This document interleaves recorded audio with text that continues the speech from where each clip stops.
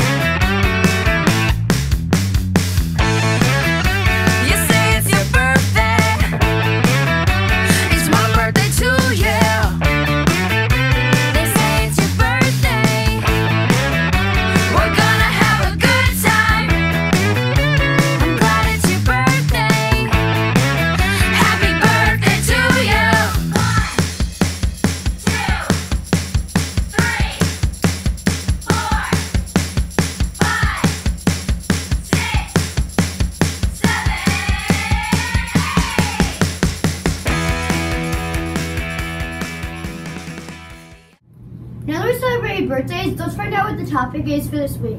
Layton, As we keep focusing on Black History Month, this week topic is Martin Luther King Jr. He taught us to respect everyone. What do you do to respect others? Take some time to talk to your family and your class about respect. Back to you, Luke. thanks Layton. We do need to respect everyone. Now it's time for this week's trivia question. What was Rosa Parks arrested for on December 1st, 1955? Eating at an all-white lunch counter, refusing to give up her seat on a city bus, protesting with Martin Luther King Jr., or driving without a driver's license. She could have been arrested for any of them. But let's find out what she did get arrested for. Layton? The correct answer is not giving up her seat on the bus.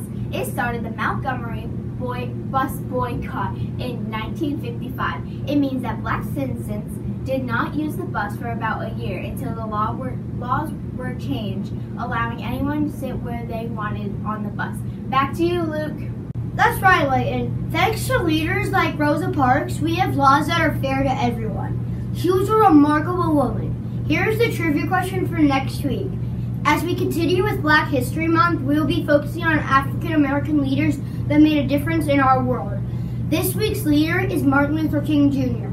When when did he graduate high school? Again, when did Martin Luther King Jr. graduate high school? When he was 15, when he was 18, when he was 21, or 24? Stay tuned next week for the answer. Sadly, I'm sorry to report, we don't have a joke. Layton, do something. Um, we don't have a joke this week, so I'm gonna try thinking of one. Brandon! Brooklyn from third grade is a joke! What? Brooklyn from third grade has a joke? Thank goodness! What do bears and people have in common? I don't know. What do bears and people have in common? Bare hands. Oh, thanks, Brooklyn. That was really funny. And to think you made this up yourself. And thank you to Haley for, for your joke last week. Remember, if you have a joke or something fun you are doing in class, send it to Miss Nelson at chnelson at crschools.us. Now, let's look at great things classes are doing this week in school. Miss Stark and Miss Reese class really had fun learning this week.